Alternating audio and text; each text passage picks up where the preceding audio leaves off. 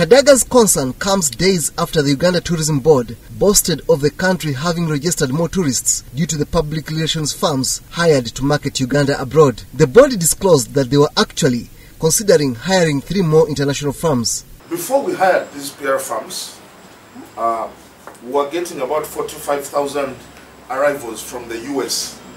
And US was number two below UK. In year one, the numbers increased by 17%. You can cross-check with immigration, you can cross-check with UBOS. In the first year alone, we got 17% more arrivals from the US.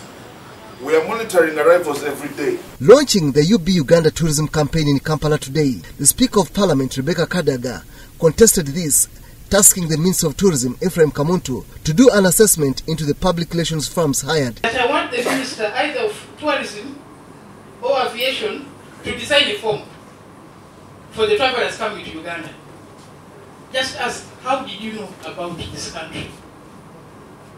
If 50% answer that I heard from those people, we shall know that they are working. the rules that govern members in the debate, there are consequences.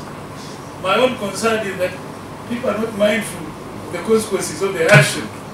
Yes, I've received information, cancellation of people who had booked come to your hotels. The founding member of the Uganda Hotel Owners Association, Alhaji Blaimu Mwanga Chivirige, popularly known as BMK, decried the huge taxes slapped on the hotel industry, urging government to revise them. Tourism remains the top foreign exchange earner to the country. Report by Jaliat Namoya for Urban TV.